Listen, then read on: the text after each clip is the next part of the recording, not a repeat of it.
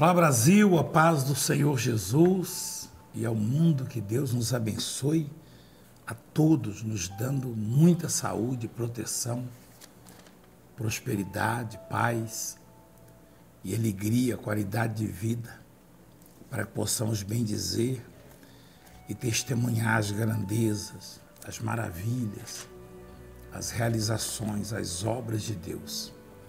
Que Deus te abençoe abundantemente Hoje Deus nos dá uma palavra muito interessante.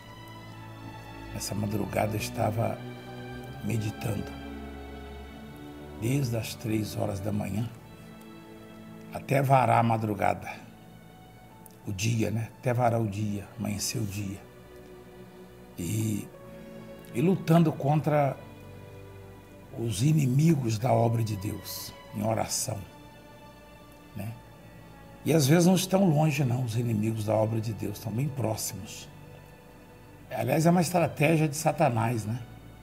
Que a obra de Deus é perfeita. Mas Deus cuida dela e no tempo certo ele, ele sempre vai colocá-la no devido lugar.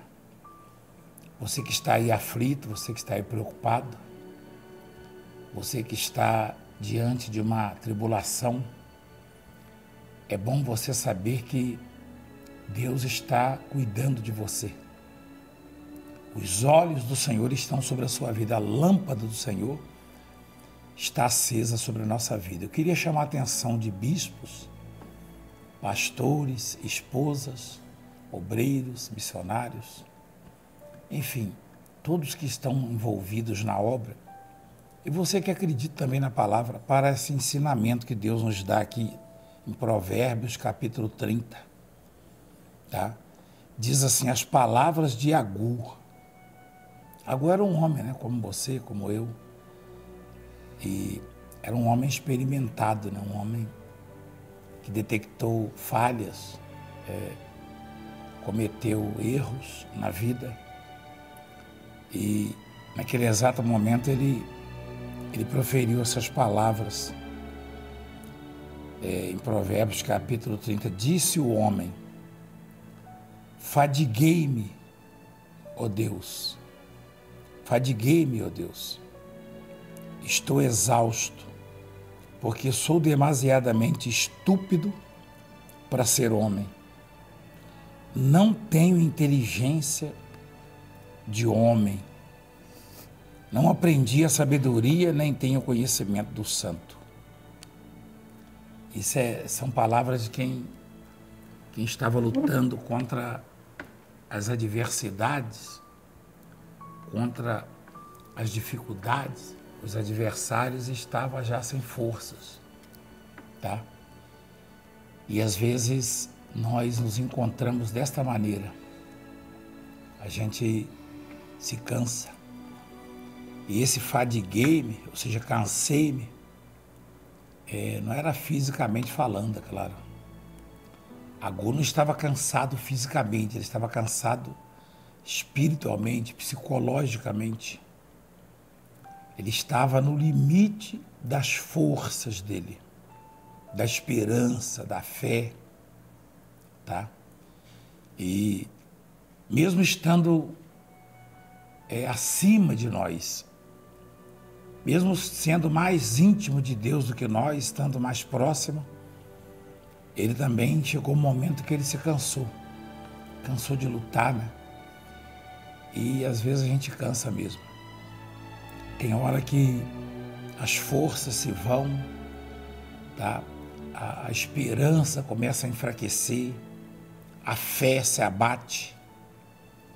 E é necessário buscar, porque tudo isso vem de Deus. São virtudes que não são próprias do homem, e muito menos é, de terceiros, né? de outros. Essas virtudes não são próprias nossas, não. E de amigos, muito menos. Porque às vezes as decepções vêm dos amigos. É. As frustrações, as, as adversidades. Então, as traições. E aí é preciso o quê? É preciso buscar em Deus, porque isso tudo vem de Deus. Então presta atenção no que esse homem falou. Disse o homem, ó, fadiguei, meu Deus. Fadiguei, meu Deus. Você já deve ter se expressado desta maneira, repetindo, né? As palavras. Quando é assim é porque a pessoa está realmente cansada. E Agu estava cansado, muito cansado. De repente você está se sentindo assim também, cansado de lutar, de esperar, de orar, de buscar, de recorrer, né? E a palavra de Deus é exatamente para aqueles que precisam muito. É um remédio infalível, um antídoto. Isso aqui é a palavra de Deus, ó, porque ficou registrado como exemplo para nós. Aí continuando, ele diz assim: Estou exausto, porque sou demasiadamente estúpido para ser homem, não tenho inteligência de homem. Quer dizer, o sujeito com aquele nível de sabedoria, um sujeito com aquele, aquele nível de, de espiritualidade, se cansou e entendia que não era que não era sábio bastante para ser homem, né? nem para ser homem. E olha que o homem é falho, o homem é, é carne, é erva, né? é flor da erva, a sua glória. O sujeito ele ele usou palavras com tanta sabedoria para conquistar o favor de Deus, a graça de Deus. Ele, ao invés de, de orar em tom de cobrança, porque é natural, é comum nos homens hoje orar em tom de cobrança. É como se merecesse alguma coisa, eu já sofri demais, eu já passei por isso, eu não mereço isso. É, Deus tem que fazer, ou é ou não é. O homem gosta de fazer isso, de orar assim. Então o sujeito ele confessa para Deus que nem digno de ser homem, de ser chamado de homem ele era. Tão falho, né? Tão insignificante. Ele fala porque sou demasiadamente estúpido para ser homem. Não tenho inteligência de homem. Não aprendi a sabedoria nem tenho conhecimento do santo. Aí, no versículo 4, o Espírito Santo ele ele toma a palavra. Olha que interessante, bispos, pastores, é, pastoras e missionárias, obreiros. No versículo 4, Deus, o Espírito Santo, toma a palavra dele e diz assim: Quem subiu aos céus e desceu? Isso aqui a gente vê lá no Evangelho também. No Evangelho, perdão. Isso aqui a gente vê lá no Evangelho. É, acho que é. Aliás, na carta de Paulo, Romanos, capítulo 10, se eu não me engano né, em Romanos 10.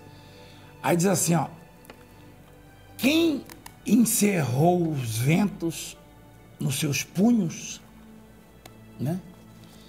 Quem amarrou as águas na sua roupa? Quem estabeleceu todas as extremidades da terra? Qual é o teu nome? Qual é o seu nome? Ou qual é o nome do seu filho, se é que sabes? Quer dizer, é, milhares de anos antes de Deus enviar o filho dele à terra, o Agu, de alguma maneira, na, na, na oração dele, ele profetizou a vinda de Jesus, a primeira, né?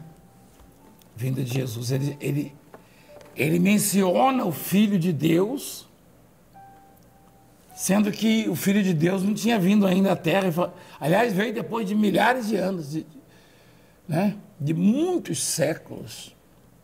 Aí eu fico pensando como, como Deus ele toma nossa oração quando nós oramos em tom de humildade, reconhecendo a insignificância, a, as limitações, a, a necessidade de se estar na presença dele, de se é, reconciliar, de se buscar o perdão. A coisa é, é extraordinária mesmo, é maravilhosa. A sabedoria é maravilhosa, porque esse homem ele, ele, ele começa orando num tom de humildade, tá? E de sabedoria. Daqui a pouco Deus ele, ele começa a revelar coisas a ele. Quem foi que disse para ele, o Agu, sobre o Filho de Deus, né? Naquela época, muitos anos antes. Aí ele ainda fala, quem subiu aos céus e de, ao céu e desceu? Paulo repete isso Paulo fala, nem, não pergunta, né? Ele fala para não perguntar. Quem subiu para trazer o filho, né? E aí, é, quem encerrou os ventos nos seus punhos, é, de uma certa maneira, de certa forma, o Espírito Santo começa a revelar a ele a grandeza de Deus, dizendo para ele que Deus controla o vento no, no, nos punhos. Tá? Deus segura os ventos nos seus punhos, nas suas mãos. Quer dizer, tudo está sob o controle de Deus. Né? Para uma pessoa fadigada, para uma pessoa cansada, exausta, para uma pessoa pensando em desistir, uma revelação dessa é o livramento, é a cura, é, é, é, é o resgate, tá? Uma revelação dessas, para quem está no limite, para quem está pensando em desistir, está exausto, está aflito, é um resgate. Aí ele diz assim: quem encerrou os ventos nos seus punhos? Quem amarrou as águas na sua roupa? Quem estabeleceu todas as extremidades da terra? Quer dizer, quem fez essas coisas grandiosas, né? Para que o próprio Agu pudesse é, é, fazer um comparativo, né? É, trazer para junto dele essas obras extraordinárias, grandiosas, uma lembrança, né? E se lembrar do que Deus fez e comparar com o tamanho das suas dificuldades. Nesse momento de dificuldades, de lutas, de, de medo, de terror por parte de algumas pessoas, quando a pessoa está tá longe de Deus, ela fica assustada, amedrontada, espantada, enfim, vulnerável, se sente vulnerável, né? Porque quando a pessoa está na presença de Deus, que era o caso de Agu, logo vem a confirmação é, é, da resposta de Deus. Isso aqui já era a resposta de Deus para a vida dele. Porque ele começa dizendo para Deus que não aguentava mais, foi isso que ele quis dizer, estava exausto, cansado, fadigado. E aí Deus, o Espírito Santo, na boca dele fala, quem foi que é, é encerrou o vento nos seus punhos. Ou seja, quem, quem faz parar de ventar ou quem faz ventar? Quem, quem segura o vento na sua mão? Né? Quem amarrou as águas na sua roupa? Ou seja, quem segura as águas para que não destrua todas as coisas? Quem estabeleceu todas as extremidades da terra? Quem fez a terra? Qual é o seu nome? Ou, qual o nome do seu filho? Se é que sabe que o filho participou da criação. Né? Jesus estava lá ao lado do Pai e, e o Espírito Santo aqui revela ao Agu né, que Deus não fez sozinho, o Filho estava com ele lá. O Filho Jesus Cristo, que ainda não tinha se manifestado na terra. Né? Aí, continuando no versículo 5, diz: toda a palavra de Deus é pura. Ele é escudo para os que nele confiam. Que mudança de, de sentimento, né? de, de comportamento, de, de pensamento, de atitude, né? Aí a, a oração, ela, ela nos coloca na dependência de Deus e isso provoca uma mudança. Ele se humilhou, né? Porque primeiro ele disse que ele era estúpido demais para ser homem. E hoje em dia tem homens que se acham os próprios deuses, porém ele na sua humildade disse, né, que ele estava fatigado, mas porém ele estava esperando no, em Deus e Deus deu a resposta imediatamente. A maioria se acha acima da média, né? Sim. Isso aí, o ser humano, ele é, ele é assim, ele vai E ele, ele... Com, a, com toda essa direção de Deus, inspiração de Deus, ele estava se rebaixando, se humilhando daque, diante daquele que realmente é, né? Que é o Deus Todo-Poderoso, que fez todas essas coisas. Quem consegue amarrar água na roupa? Por mais que você queira, você não consegue segurar um copo d'água numa roupa. É, isso é uma figura, né? Sim. De, de linguagem. Quem, quem detém as águas, quem, quem detém, controla controla as águas. o vento no punho, se você não sabe nem para onde o vento vai, de onde ele vem. Só o poderoso Deus. Então ele exaltou a grandeza de Deus e Deus o respondeu. Por isso ele fala: toda palavra de Deus é pura e ele é escudo para os que nele confiam. Então, não podemos deixar de confiar, porque se confiarmos, Deus certamente vai nos atender, embora a fatiga, o cansaço ali, a exaustão esteja chegando em nossa vida, na humanidade, se confiarmos, Ele vai nos atender e responder às nossas necessidades. Escudo é um, é um instrumento, é uma arma. Sim, de proteção. É, de defesa. Escudo é arma de defesa, não é de ataque. É quando um policial, por exemplo, está ele está embraçado, ele está é, com seu escudo ali no seu braço, nos seus braços. Então ele, ele se protege dos ataques. As armas que vêm contra alguém que está com escudo, bate contra o escudo. Então, é quando a Bíblia diz, não é uma, nem dez, nem vinte, né? são, são muitas as citações bíblicas onde encontramos a palavra escudo. Deus é nosso escudo, Deus é nossa fortaleza, Deus é nosso refúgio. Né? Isso significa que quando alguém confia em Deus, é, Deus está à frente, Deus ele protege, ele forma uma barreira, uma trincheira. Sim. Tá? Quando alguém tenta alguma coisa contra você, é contra Deus que está fazendo. Qualquer investida de Satanás contra você que confia em Deus, contra nós que confiamos em Deus, é contra Deus. E Deus não perde nenhuma batalha. Deus é invencível. Ele é invencível nas batalhas. Então, quando você confia em Deus, ele prontamente se faz seu escudo. E se você está confiante nele, pode estar certo que o que fizerem contra você, o que forjarem contra você, vai bater contra Deus, não contra você. Continuando, diz assim: nada acrescentes às suas palavras, para que não te, te repreenda. Olha só. Nada acrescentes às suas palavras, para que não te repreenda e sejas achado mentiroso que coisa, né? Acrescentar o quê, né? Se a Bíblia diz que Deus está na minha frente de batalha e que os que vêm contra mim batem primeiro contra Deus, eu vou acrescentar o quê? Eu nem preciso acrescentar para dizer que você vai ser livre, para dizer que você vai estar salvo dessa situação, desta epidemia, das investidas de Satanás, para dizer que a sua vida vai ser protegida, vai ser abençoada, não precisa acrescentar nada, inventar. É o que eu digo para os bispos né? e pastores. Às vezes eu percebo um ou outro querendo inventar, eu já aviso logo, não inventa. Não inventa, é simples e eficaz a palavra de Deus. É como diz aqui, é pura, né? Toda a palavra de Deus é pura. Ele é escudo para os que nele confiam. Nada acrescentes às suas palavras, para que não te repreenda e sejas achado mentiroso, porque ele só vai fazer cumprir aquilo que está escrito, aquilo que prometeu. Duas coisas te peço. Na oração ele fala com Deus: ó, não mais negues antes que eu morra. Afasta de mim a falsidade e a mentira.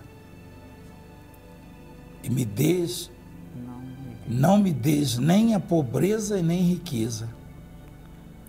Dá-me o pão que me for necessário, para não suceder que, estando eu farto, te negue e diga: Quem é o Senhor? Ou que empobrecido venha furtar e profane o nome de Deus. Que coisa maravilhosa, que sabedoria, né? É, é as palavras realmente desse homem são dignas de, de um hino, né? de um louvor, de, de, de uma poesia ele, ele na oração, ele pede, ele está tá muito preocupado com, com a fidelidade, com a, com a aliança dele com Deus. Ele não quer perder a presença de Deus, então, ao invés de deixar aflorar a ambição, né? a pessoa que é muito ambiciosa deveria meditar nisso aqui, não é verdade? Sim. Então, ele faz o quê? Ele pede para Deus, antes dele morrer, duas coisas: afastar dele a mentira, né, a falsidade, que o mundo está cheio dela, e, e pede que não, dê, não deixe ele ser pobre demais, quer dizer, ser pobre nem rico, ele, ele quer ter a fartura o suficiente, né? Enfim, para uma vida é, é, saudável, uma vida com qualidade. Mas quando a pessoa tem demais, ela, a tendência é ela confiar naquilo que ela conquistou, que ela tem, nos recursos. Quando não tem nada, passa pensamentos negativos na cabeça dela. Então, ele falou: não quero ter, ser pobre para não furtar alguma coisa, tirar alguma coisa de alguém e profanar o nome do Senhor, porque todo mundo sabia que ele era crente, né? Sim. Em Deus. E queria dar um bom testemunho. Então, eu não quero, eu não quero viver na miséria, ele disse. Mas também não quero riqueza, não quero demais para não suceder que eu venha achar, me achar autossuficiente. Me afastar dos caminhos de Deus. Aquela história, não tenho tempo para isso, eu não tenho tempo para ir na igreja, não tenho tempo para orar. Né? Tem gente que chega a pensar que o que tem é suficiente, que, que, que não, vai, não pode perder, não há possibilidade de perder aquilo, quando há. Quando há. Sem falar que a pessoa não vai levar absolutamente nada né, dessa terra. Então é interessante a sabedoria mesmo desse homem. Duas coisas te peço, não as negues antes que eu morra. Afasta de mim a falsidade e a mentira. Isso é básico, né? fundamental. Né? Não me des nem a pobreza nem a riqueza. Dai-me o pão que me for necessário. Pão, ele não está falando necessariamente de comida, né?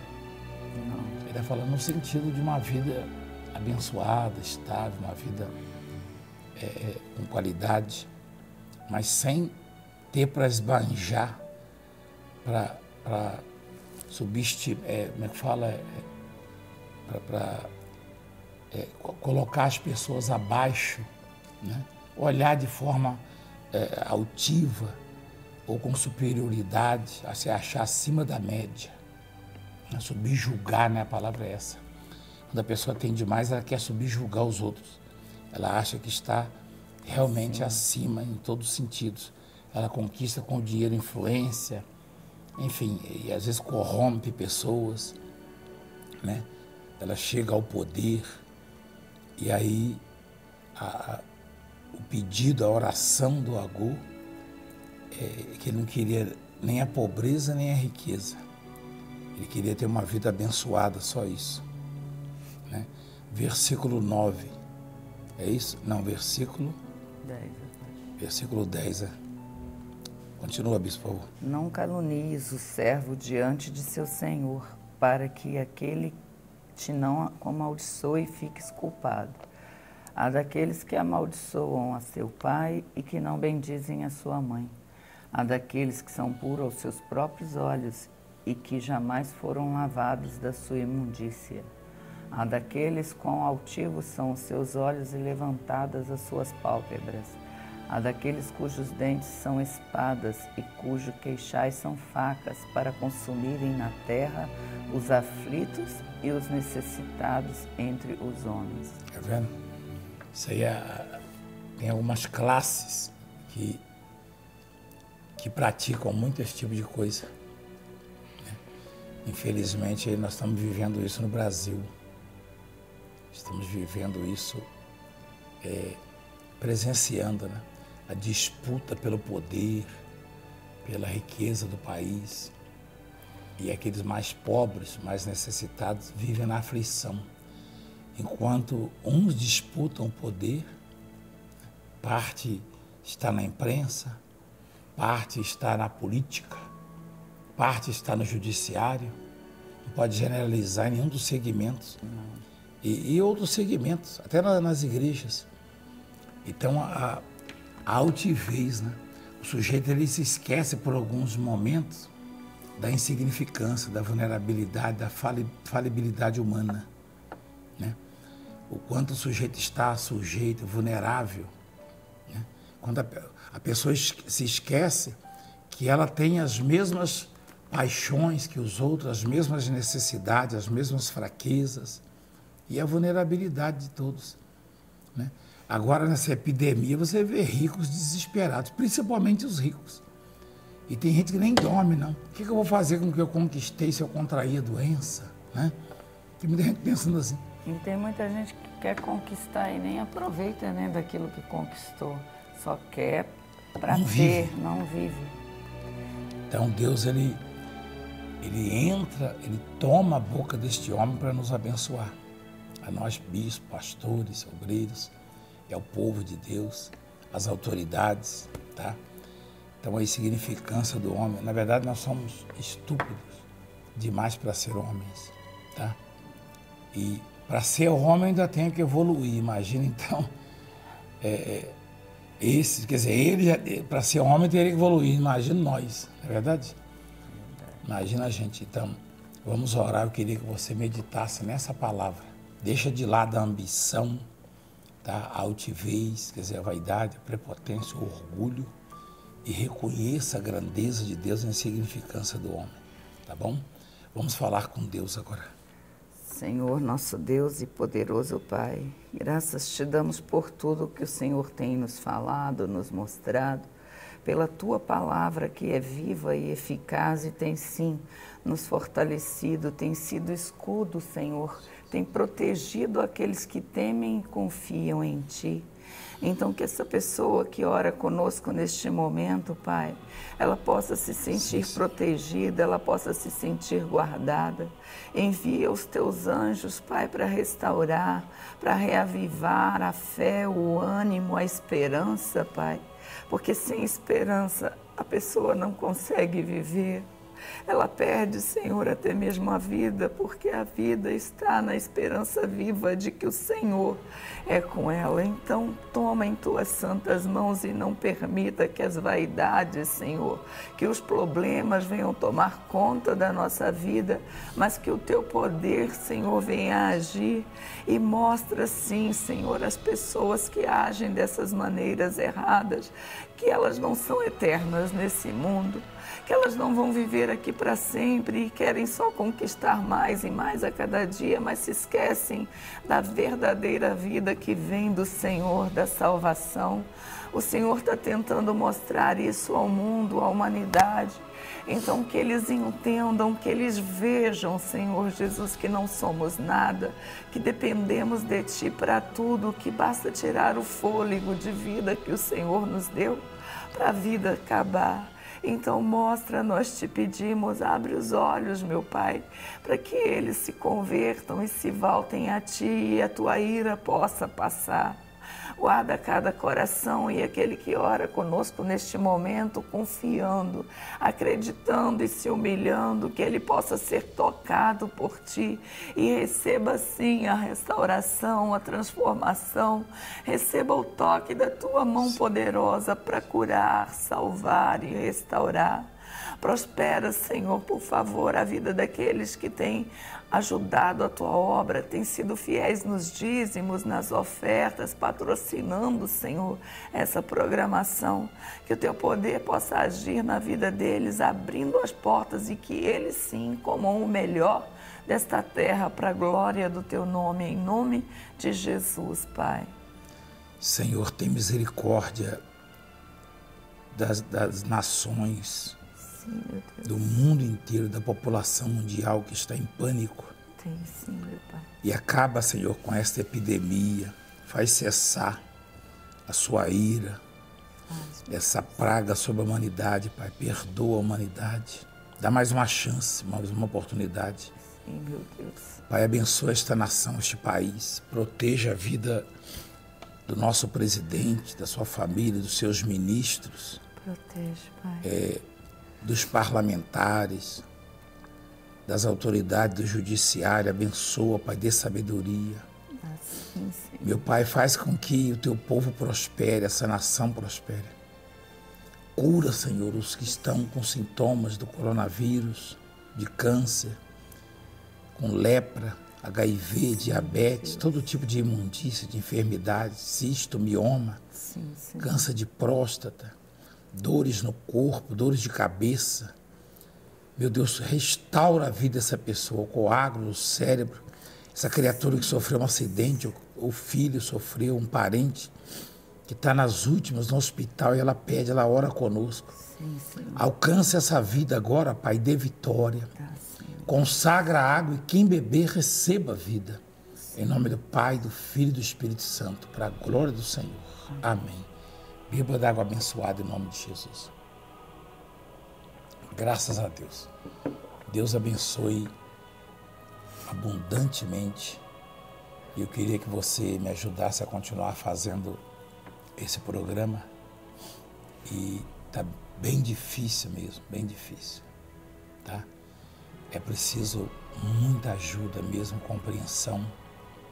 Domingo agora, se Deus quiser, vamos estar às 7 às 10 da manhã, ministrando com 30% da capacidade da igreja, tá? É, devidamente equipado. Não que isso seja garantia, garantia é Deus, garantia é a fé, é a esperança em Deus, é a oração, é a humilhação diante de Deus. Isso é garantia. Tá? Essa é a minha fé. Eu vivo pela fé. Não sou médico, sou cientista. Nunca pretendi ser. Eu aprendi a viver pela fé. Meu justo viverá pela fé. Eu estou convocando. Venha e traga sua máscara. E ali temos o álcool gel com os obreiros na porta, com os bispos. Vamos ministrar, adorar, louvar. Traga a sua oferta para ajudar. Uma oferta de mil reais, de quinhentos reais, de duzentos, de cem, de cinquenta, de vinte. Traga a sua oferta, como Moisés pediu na lei, né? E como Jesus mandou o leproso também apresentar, que fora curado, tá? Jesus não aboliu, né? Ele falou, apresenta a sua oferta ao sacerdote, falou com o leproso. Então, traga o seu dízimo na presença do Senhor e você que não pode, apresenta, você que não pode vir, né? Nós assiste em algum lugar aí que não foi liberado ainda. Então você apresenta lá na conta da igreja, no banco, na, na caixa, no Bradesco, no Banco do Brasil. Apresenta a sua oferta, tá bom? É muito importante Lembrando isso. que a igreja também está aberta durante a semana, né? Semana pode. inteira, é. Nós estaremos domingo. Pode. A igreja está aberta todos os dias. Você pode ir hoje, amanhã pode vir, né? Então, é isso na capital. E nas demais igrejas, o atendimento, tá bom? Deus abençoe, fique com Deus. Voltamos a qualquer momento. Deus abençoe.